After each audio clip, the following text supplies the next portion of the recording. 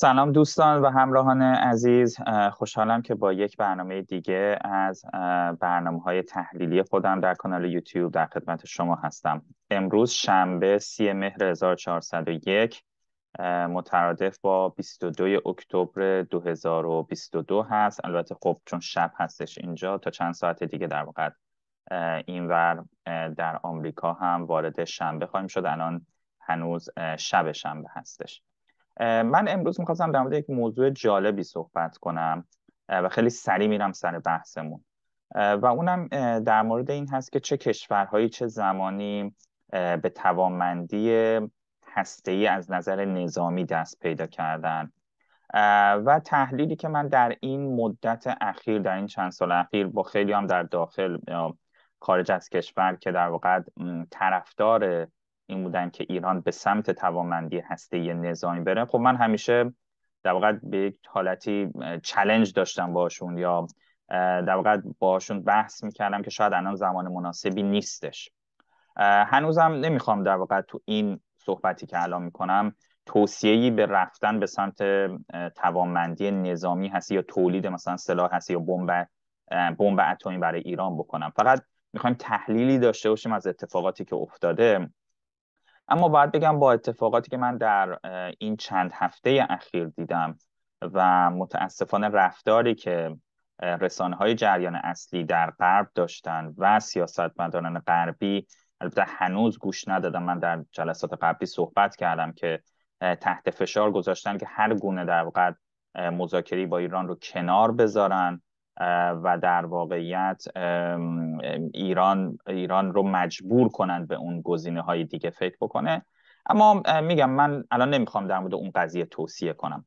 نظر خودم کم کم داره عوض میشه. یعنی به نظر میسه واقعا انقدر هزینه ای که ایران کرده و طرف غربی حاضر نیست در هیچ حالتی با ایران سر میز مذاکره به صورت منصفانه قرار بگیره و می‌خواد با استفاده از ابزار دیگه مثل ابزار روانی ابزار اقتصادی و ابزارهای مختلفی که دیدیم چه جمهوری خواه ها ازش استفاده کردن دولت ترامپ و کلا جمهوری خواه چه دموکرات ها به صورت بسیار پیچیده و ظریفی از ابزار مختلف تحت فشار گذاشتن ایران استفاده می‌کنن تا بتونن امتیازات بیشتری از ایران بگیرن سر میز مذاکره.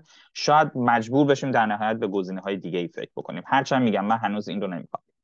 یه چیز جالبی من دیدم که من دوست دارم این رو با شما به اشتراک بذارم. و یه وبسایتی در واقع جدیدا دیدم این وبسایتی که Ranking Charts هستش در واقع این کانال یوتیوبی.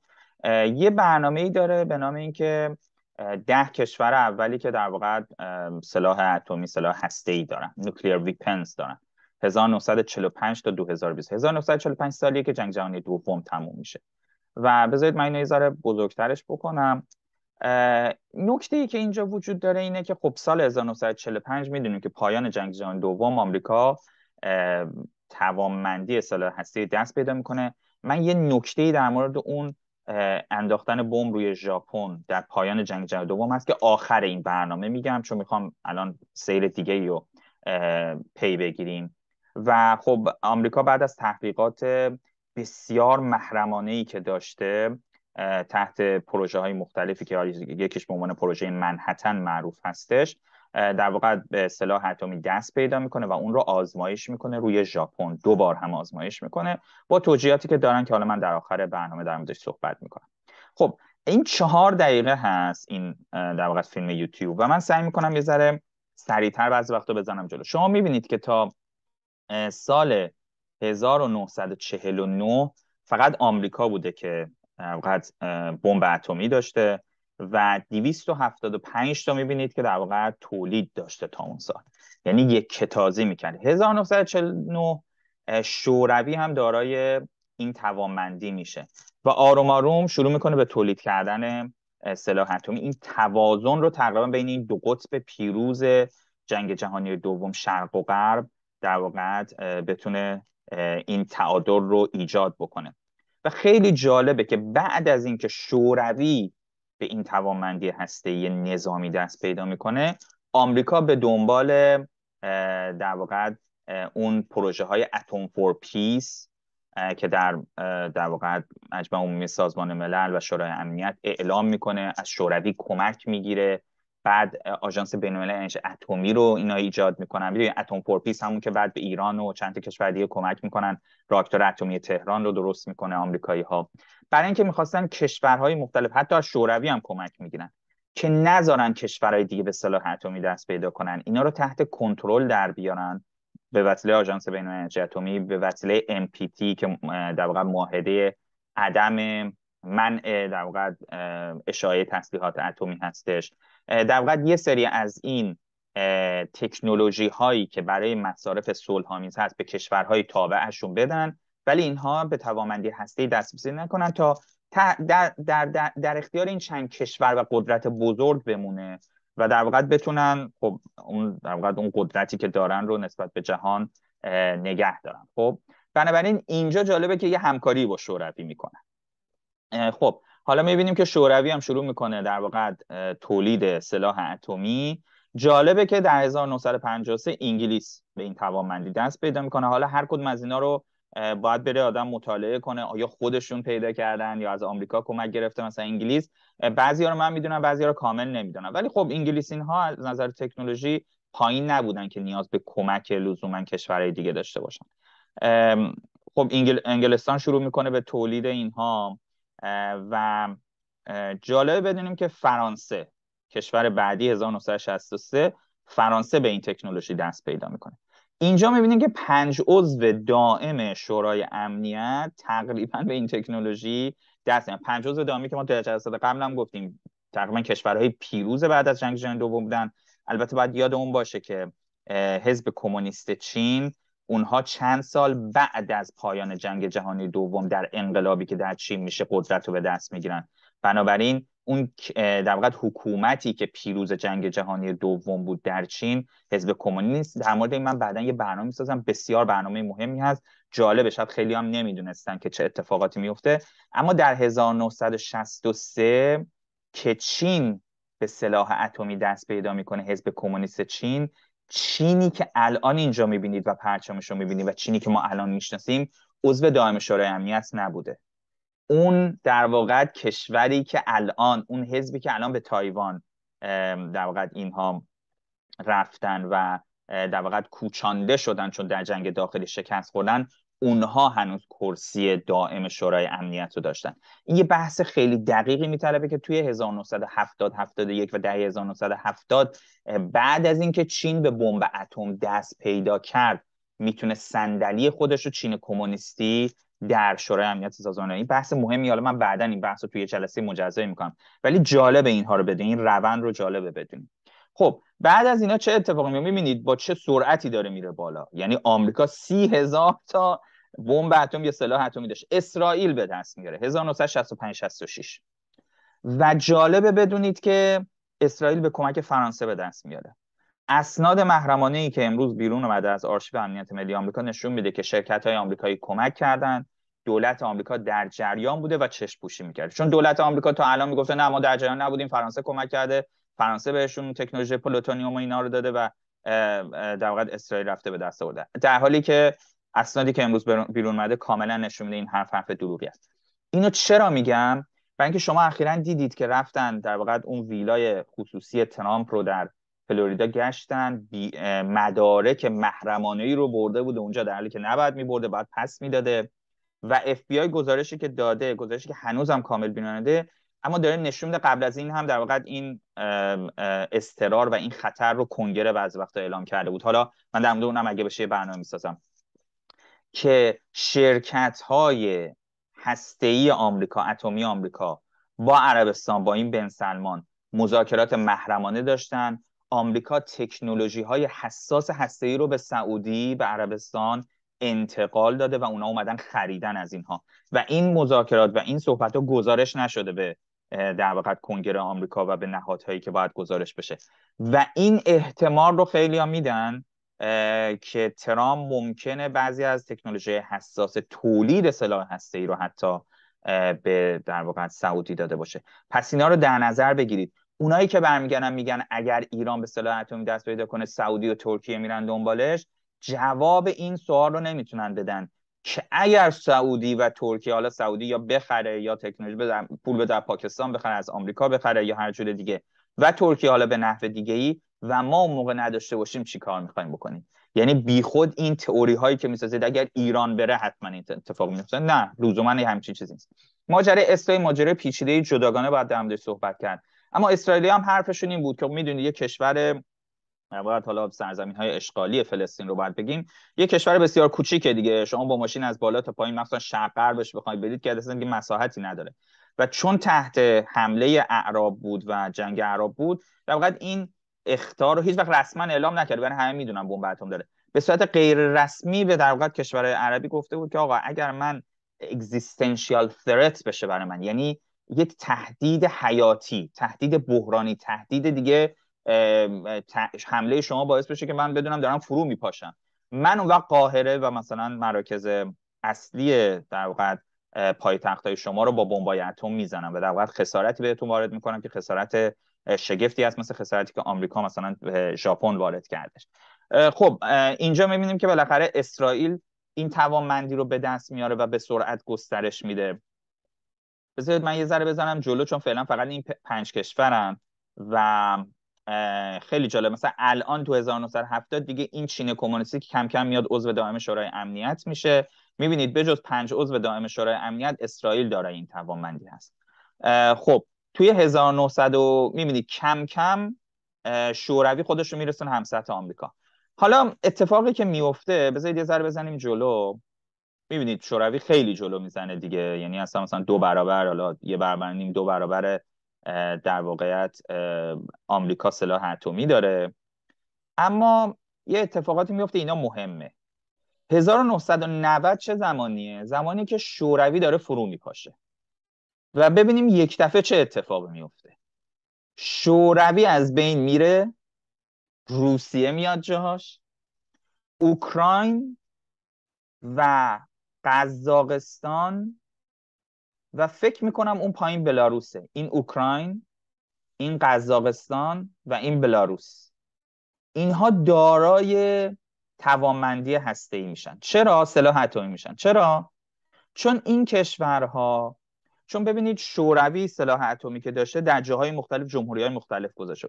مثلا همین الان دیدید وقتی شوروی می‌خواد مثلا فضاپیما بفرسته هوا میره میگه از پایگاه بایکنور قزاقستان. چرا؟ چون مثلا یه پایگاه فضایی خیلی مجهزی توی قزاقستان فعلی داره که قبلا جزو شوروی بود. و خیلی جالبه که شوروی هنو روسیه بعد از فروپاشی شوروی 26 هزار بالای 26 هزار سلاح اتمی داره بمب اتمی داره. اوکراین 1600 قزاقستان 1400 و فکر می‌کنم بلاروس باشه. حالا این نقشش می‌تونم دقیق تر ببینم 81 داره؟ چه اتفاقی میفته این کشورها کم کم با قراردادی که بین غرب و شرق بسته میشه یعنی بین روسیه و حالا ناتو اینا بسته میشه اینها سلاح اتمیشون رو از دست میدن. یعنی روز دیدید اوکراین و قزاقستان از دست دادن و فکر می‌کنم این بلاروس باشه اینم از دست میده. اینا رو از دست میدن با این عنوانی که خب امنیت ما حفظ بشه. می‌دونید که الان اوکراینیا خیلی پشیمونن دیگه. بارها هم اینو گفتن که کاش که ما سلاح اتمی از دست نمیده البته سلاح اتمی نگهداریش و تکنولوژی که بخواد نگه داره و دانش و ایناش خب زیاد بوده. و چون شوروی اینو پخش کرده بوده در جاهای مختلف همه این کشورها اون توانمندی لازم داشتن اون ثروت لازم هم که تو اون زمانی که دولت های در واقع تازه بودن و ضعیف بودن دولت های استقلال یافته از حکومت های استقلال یافته از شوروی حکومت های بسیار ضعیفی بودن. بنابراین گفتم آقا هزینهش نمیصرفه بی خیال شیم. یا نریم دنبال مثلا اون دانش هایی که می‌تونیم اینو حفظ و نگهداری کنیم. همش رو از دست دادن. این دیدید رقماش کم نبود. 1300 1200 تا اینا داشتن. همه رو از دست دادن رفتش. و از دست دادن اینها باعث شد که در واقع این قدرت اتمی باقی بمونه. اما یه اتفاق دیگه ای میفته یعنی بازم همون شش کشوری که قبل از فروپاشی شوروی داشتن. یه اتفاق میفته اونم اینجا در واقع هند و پاکستان هستن. 1997 هند و پاکستان که سالها با هم جنگیده بودن سه تا جنگ فکر می‌کنم قبل از این دو تا جنگ گسترده داشتن در واقع به توانایی هسته‌ای دست کنن و اونو رو می‌کنن. تا قبل از اون رو نکردن تحقیقات داشتن سرمایه گذاری کرده بودن تحقیق و توسعه می‌کردن. و خیلی جالب این نکته رو بدونیم که توی جریان جنگ سرد من قبلا هم اینو اشاره کردم. پاکستان خیلی زیاد تحت الحمایه آمریکا بود و آمریکا مثل زمان شاه رو پاکستان خیلی نفوذ داشت. بهش سلاح می‌داد بهش هواپیما می‌داد تحت کنترل داشت. و رو شوروی هم از هند خیلی پشتیبانی می‌کرد. فروپاشی نظام دو قطبی و نظام برخواسته بعد از جنگ در دوران جنگ سرد بعد از جنگ دوم جهانی فروپایان جنگ سرد باعث تلاطم هایی شد. اون تلاطم اولیه رو نشون دادم بهتون که زود تموم شد. این تلاطم دومیه این دو کشورن که تو شرایط نظام تک قطبی به این نتیجه می‌رسن که باید به سلاح اتمی دست پیدا کنن. مخصوصا هندی که تهدید چین هم داشته چون هند با چین هم درگیری های مرزی داشته و هنوز هم داره حتما هم شنیدید می‌دونید پاکستان و هند هم هنوز دارن. بنابراین هند و پاکستان اینجا به توانمندی ای دست پیدا می‌کنن و به سرعت شروع می‌کنن اتفاق دیگه ای میفته اینه که کره شمالی که یک جنگ بسیار سنگین با آمریکا داشته کره شمالی آ این دو تا کشور هم اول بگم. روسیه و آمریکا خب به تفاهم هایی می‌رسن که در واقع سلاح های اتمیشون رو کم بکنن. به یه سری تفاهم های امنیتی رد بالایی می‌رسن که آقا ما چرا مثلا 20000 30000 داشته باشیم؟ راستش رو بخوای با 5000 هم کل زمین از بین میره اگه بخوایم یه جنگ اتمی شروع بشه. بنابراین من که هزینه هامون رو کاهش بدیم و روسیه هم اون موقع به این بود که حالا می‌خواست واقعا با اون نظام تک قطبی نظام جهانی همراه بشه. حالا در دوران بروسیل سین و همینطور در اوایل دوران پوتین اعتماد به غرب داشتن اینا. غرب اینا رو جزو جی 7 کرد جی 8 یعنی جی 8 کرد جی 7 رو کرد جی 8 روسیه هم آورد تو اون هفت کشور صنعتی مهمشون آورد که می‌دونه اخیرا دوباره پرتش کرد بیرون. آقای پوتین رو دوباره انداختنش بیرون از اون جی 7 خب روسیه رو انداختن بیرون. ولی این دو تا کشور با هم تصمیم می‌گیرن و سلاحاشون رو خیلی کم می‌کنن. میارن تا چند هزار. خب این نکته رو بگم. نکته ای که الان می‌رسیم در مورد کره شمالیه. و کره شمالی بعد از مذاکرات مفصلی که با آمریکا داشت به این نتیجه می‌رسه که نه آمریکایی ها به دنبال این که بخوان واقعا مذاکرات صلح آمیز با ما داشته باشن. نیروهاشون از شبه جزیره کره ببرن بیرون. شبه جزیره کره رو در واقع غیر نظامی بکنن نیستن اونا فقط دنبال اینن که توانمندی هسته ما رو از ما بگیرن. دنبال اینن که استیلا به ما پیدا کنن. و دیگه شوروی هم نیست که اما حمایت کنه. دیگه شوروی هم نیست که بخواد در واقع اون بالانس قدرت رو ایجاد کنه. روسیه شلوول داره کار می‌کنه. بنابراین دولت کلینتون خیلی سعی کرد با کره شمالی قرارداد امضا کنه صلح قرارداد تفاهم صلح امضا کنه که کره شمالی در واقع اون برنامه هسته رو کنار بذاره. اما به تفاهم نرسیدن جورج بوش اومد سیاست سختگیرانه گرفت تحریم تهدید و کره شمالی بمب اتمش ساخت. کره شمالی بمب اتمش ساخت این بازی رو ترامپ هم سعی کرد در بیاره که بره با کره شمالی صلح مذاکره انجام بده ولی معلوم شد که بازی همش. یعنی به کره شمالی گفت شما سلاح هسته ایتون رو بذارید کنار من تمام نیروهام از شبه جزیره کره و حتی ژاپن ممکنه ببرم بیرون ولی در نهایت به توافق نرسیدن که در مورد من قبلا صحبت کردم حالا بعدا هم بیشتر در این صحبت می‌کنم. پس کره شمالی اینجا دارای توانمندی ای میشه. و من اگر اشتباه نکنم دیگه کشور دیگه ای نیست. یعنی درسته مثلا توی تیترش گفته بود ده کشور اول چون این وبسایت در مورد ده تا حوزه مختلفی صحبت می‌کنه که کشورهای مختلف مثلا دارن تو ranking های مختلفی که حالا بعدا بیشتر در موردش صحبت میگم خودتون برین تو وبسایتش ببینین. GDP و مثلا نمی‌دونم نیروی نظامی و توانمندی نظامی رو چیزای مختلف. خب توانمندی اقتصادی و جمعیت و فلان و اینها مثلا از بعضی وقتا دو قرن قبل از 150 سال قبل شروع می‌کنه خیلی چیزای قشنگی برید اما ببینید ما تا 20 22 که می‌رسیم دیگه من برسه اینجا این توضیح نهایی بدم ببینم چقدر مونده. بله دیگه. آره بذارید من یه ذره بیام عقب‌تر که این زیری هم نیاد. ببینید اینجا ما داریم حدود در واقع حالا جنگ روسی اوکراین هم که مثلا شروع شده مثلا 4000 تا سلاح اتمی روسیه داره 3000 نزدیک 4000 تا آمریکا داره. چین 350 تا داره فرانسه داره 290 تا انگلستان 180 تا داره که اخیرا هم اعلام کرده که به دنبال هم بیشتر کردن هم تجدید و به روز رسانی و تقویت در واقع قدرت هسته‌ای نظامی خودش و حتی قدرت هسته‌ای راکتورهای هسته‌ای خودش هستش. پاکستان 165 تا داره هند 160 تا داره این دوتا با یک توازنی تقریبا جلو میرن. خب نیروهای نظامی هند خیلی قوی تنن از نظر تعداد و تجهیزات نسبت به پاکستان. اسرائیل 90 تا داره خیلی اعلام می‌کنن که حتی 300 400 تا داره و کره شمالی هم یه چیز حدود 45 تا تخمین حالا همه اینا تخمین هستش حالا دقیق نگیم سلاح اتمی دارن. و این نکته مهمیه یعنی ما این این چرخه رو نگاه کنیم و اینکه امکان داره کشورهای دیگه ای هم در واقع دارای سلاح بشن. من یه نکته اینجا به نظرم چون پریدیم جا موند و من فقط اینو اشاره کنم. در مورد رژیم آپارتاید هستش تو آفریقای جنوبی. قبل از فروپاشیش اینجاست. ببینید بذارید یه بار دیگه بیادش. می‌بینید که در واقع در 1986 87 این آفریقای جنوبی هست که دارای توانمندی هسته میشه. اگر اشتباه نکنم طبق اسناد از اسرائیل کمک می‌گیره. حالا اینم در واقع باید بریم اسناد کاملش رو بعدا در بیاریم. اسرائیل حمایت می‌دونید اسرائیل تا روز آخر از رژیم آپارتاید حمایت می‌کرد.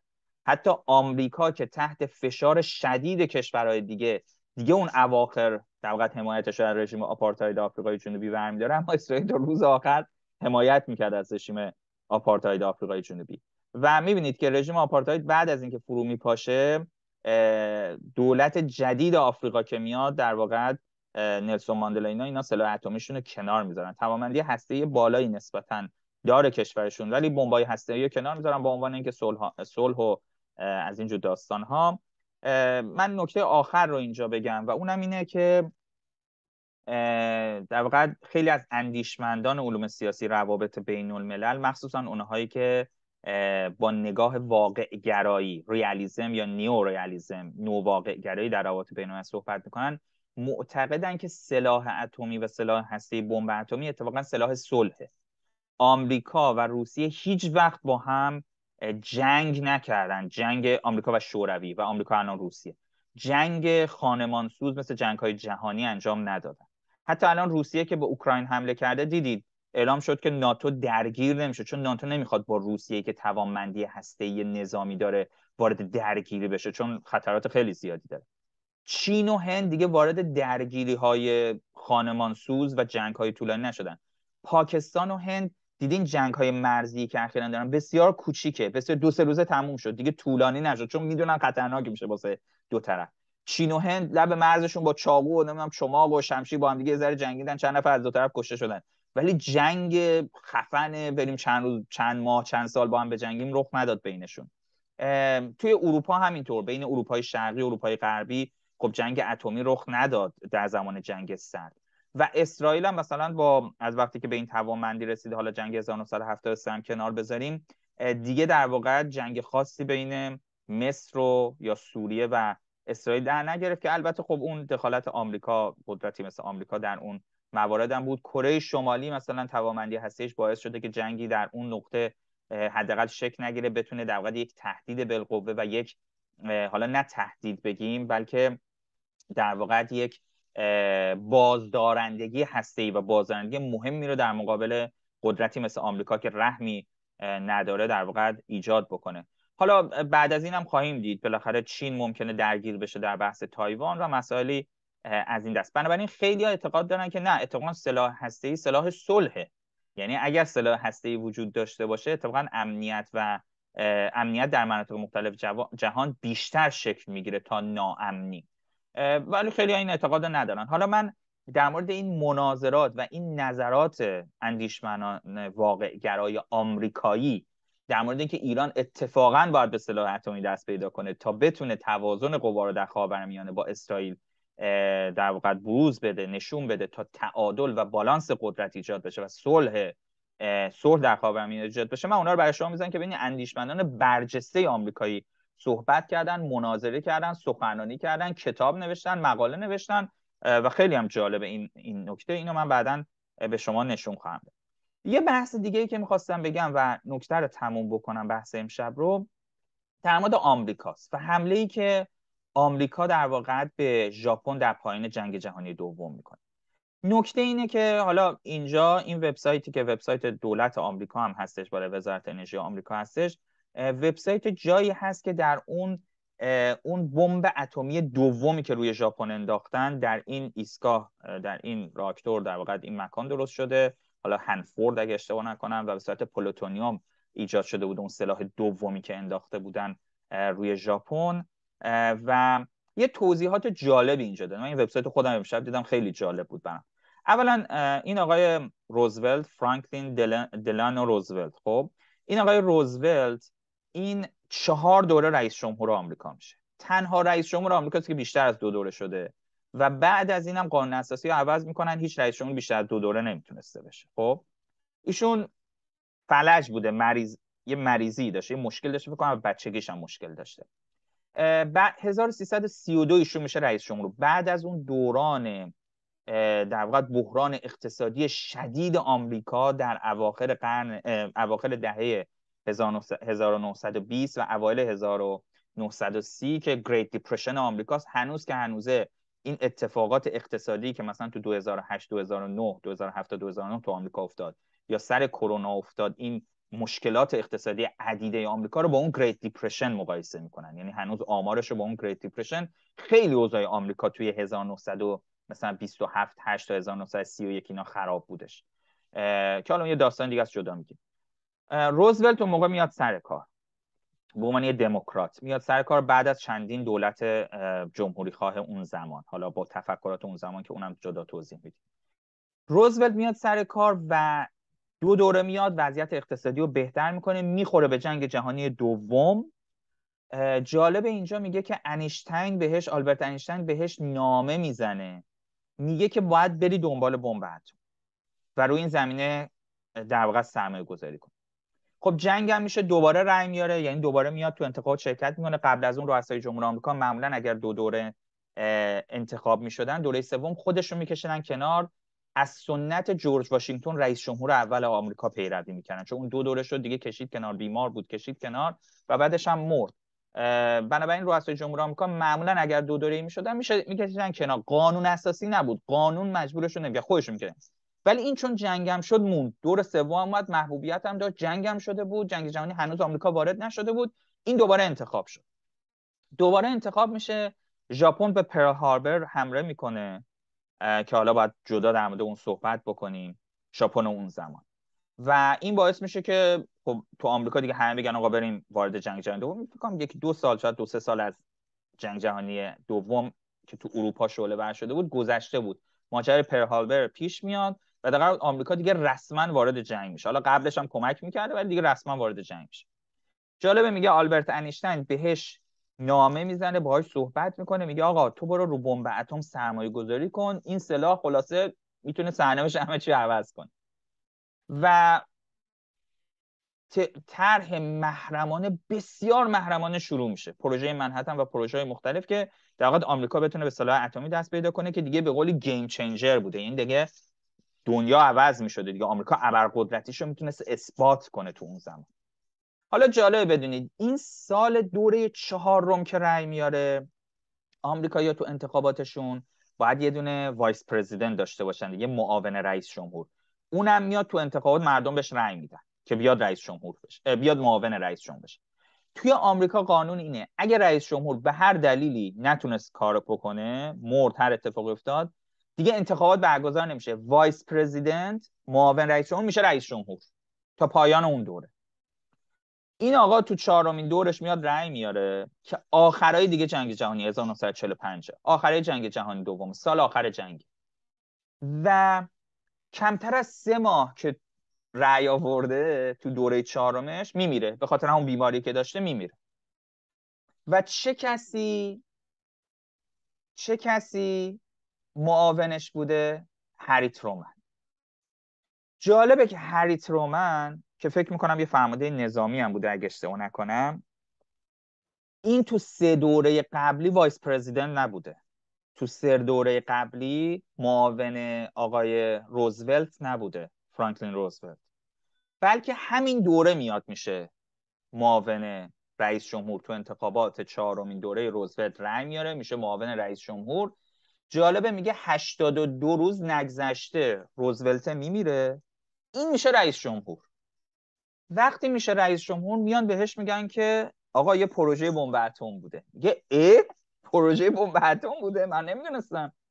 جالبه که اینجا نوشته میگه حتی معاون رئیس جمهور نمی‌دونسته انقدر محرمانه بوده. خیلی. حالا این داستانش باید بعدا مفصل براتون بگم چه جوری بوده این داستان. و اتفاقی میفته اینه که اینها توی ایالت نیو مکسیکو که از این ایالت هایی که برخی از جاهاش خیلی صحرا و دیزرت و در واقع این مثل مثلا کویر و لوت و اینا ما فرض کنه از این جا داره. اینا در اعماق زمین هم تست هسته ایشون رو می‌کنن. چند تا تست هسته می‌کنن. یکیشون اینجا بوده. خیالشون راحت میشه. که آره آقا این بمب اتمی الان کار می‌کنه. آی ترومن حالا اینجا توجیهی که آمریکایی‌ها می‌کنن. تو کتابای درسیشون می‌کنن برای بچه های مدارسشون می‌کنن. متاسفانه تو ایران من دیدم این کار می‌کنن. ژاپنی ها خودشون این رو میگن.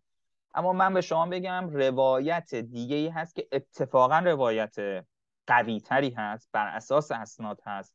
و من دانشگاه میشیگان سال 2013 اومدم. اولین کلاسی که رفته اولین ترم کلاسی که رفته بودن به نام لیدرشپ و گرند استراتژی یعنی فرماندهی رهبری و اون در واقع اون سیاست بزرگ اون گرند استراتژی اون استراتژی استراتژی چی بگم؟ استراتژی مثلا اساسی استراتژی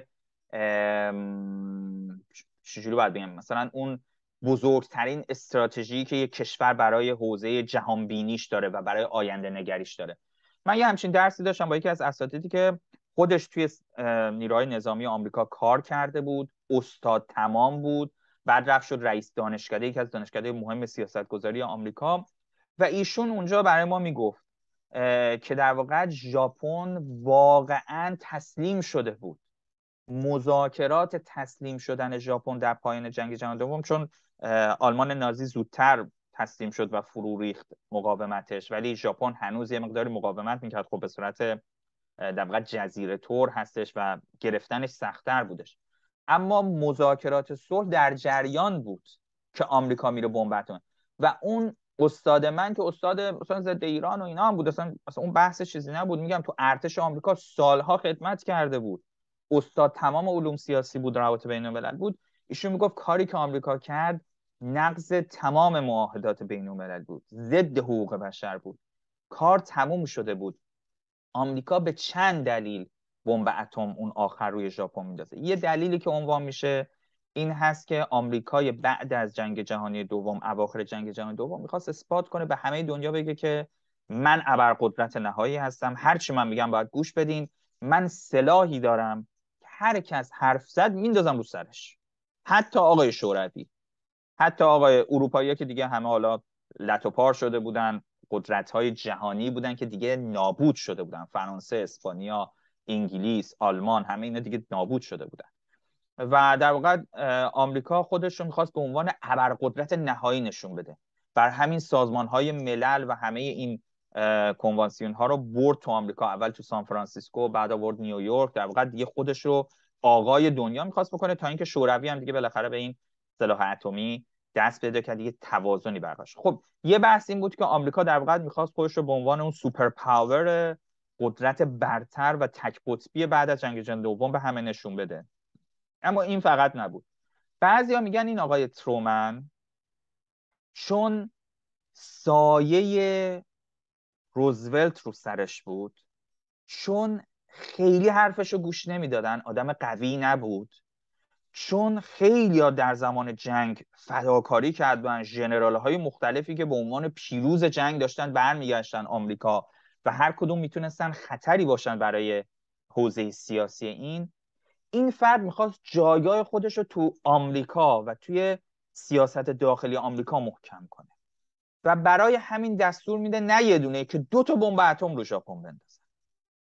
و با این کار در واقع اون هیمنه خودش رو در تبلیغات و در حزب دموکرات و در سیاست آمریکا نشون بده که آره من کسی بودم که مثلا بمب انداختم این جرأت رو داشتم. من کسی بودم که آمریکا رو پیروز جنگ کردم من کسی بودم که باعث شدم ژاپن و امپراتور ژاپن کوتاه بیاد و بیاد در واقع با ما روی ناو جنگی. حالا من اینو بعدا هم بهتون نشون میدم در واقع که تو ناو جنگی این ارتشی های ژاپن میان مثلا امضا می‌کنن این تحقیر این نامه تحقیرآمیز و این نامه شکست رو این نامه این که دیگه باید ساندر بشن. یعنی در واقع باید سلاحاشون رو زمین بزنن و آمریکایی‌ها وارد ژاپن بشن و همه کشورشون رو تسخیر بکنن.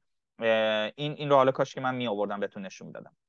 و حالا خودتون هم سرچ کنین راحت پیدا می‌کنین بنابراین یه بحث دیگه بوده که این شخصیت این فرد که تازه اومده بوده و معاون رئیس جمهور بدون انتخاب مردم آمریکا رئیس جمهور شده چون همونطور که گفتم طبق قانون اگه رئیس جمهور نتونه معاون رئیس جمهور. و این تازه اومده و کمتر از سه ماه رئیس جمهور قبلی به خاطر بیماری ف... میمیره رئیس جمهوری که چهار دوره انتخاب شده بود و این فرد به یک باره میاد رئیس جمهور شه و این عمل رو انجام میده که واقعا در تاریخ بشریت ثبت شده از نظر من به عنوان یک جنایت جنگی.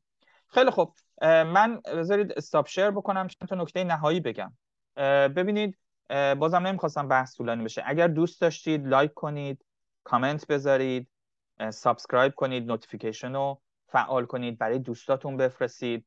من واقعا امیدوارم همه شما کمک بکنید با شیر کردن با اشتراک گذاری لینک این فیلم های من و لینک کلا یوتیوب من افراد مختلفی بیان مطالب رو ببینن. میگم من خودم نکته آخر رو بگم. توی همه این فیلم هایی که این مدت در مورد برجام صحبت کردم دیدید من گفتم که میفته مذاکرات بعد از در واقعیت انتخابات آمریکا. و آمریکایی‌ها سعی می‌کنن دستشون رو پر کنن برای مذاکرات یکی دو ماه آینده. من هیچ وقت فکر نمی‌کردم که آمریکایی‌ها اینجوری دستشون رو پر کنن. یعنی با این اقداماتی که در ایران راه انداختن. و سعی کنن از اینها برای روی میز مذاکره استفاده بکنن. و همیشه حرف این بود که ایران هم باید دست خودش رو پر کنه. من هنوز نمیگم ایران باید به سمت سلاح اتمی بره یا باید این توامندی نظامی اتمی رو به دست بیاره.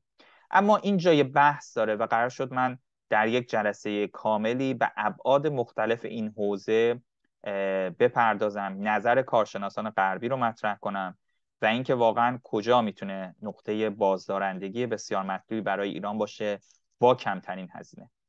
جلسه بعد اگه وقت کنم در مورد یک نکته خیلی جالب دیگه در مورد غنیسازی اورانیوم و کاربرد اون و اهمیت اون در جنگ اوکراین, اوکراین و روسیه روسیه و اوکراین یه مطلب مهم دارم که اومده و این نشون میده که چقدر سیاستمداران ما و حاکمان کشور ما اتفاقا فکر درستی داشتن در این غنیسازی اورانیوم. برعکس حرفی که آی نامور حقیقی و خیلی های دیگه راه انداختن انقدر هزینه داشته و چرا غنیسازی کردیم و غنیسازی دلیلی نداشته غنیسازی اورانیوم یکی از تیز هوشانه ترین نمی‌دونم یکی از زرنگ ترین یکی از واقعا نمی‌دونم چه کلمه باید بگم یکی از بهترین و به ترین پروژه هایی بوده که ما جمهوری اسلامی در این چند دهه اخیر انجام داده برای حفظ و ثبات امنیت کشورمون. و من این رو در جلسه بعد در موردش صحبت می‌کنم و هزینه بسیار خوبی در شده. این رو در موردش صحبت خواهیم کرد تا ببینید که در واقع منتقدین این حرف چقدر حرفشون بیپایی و اساس است. موفق باشین. فعلا خدا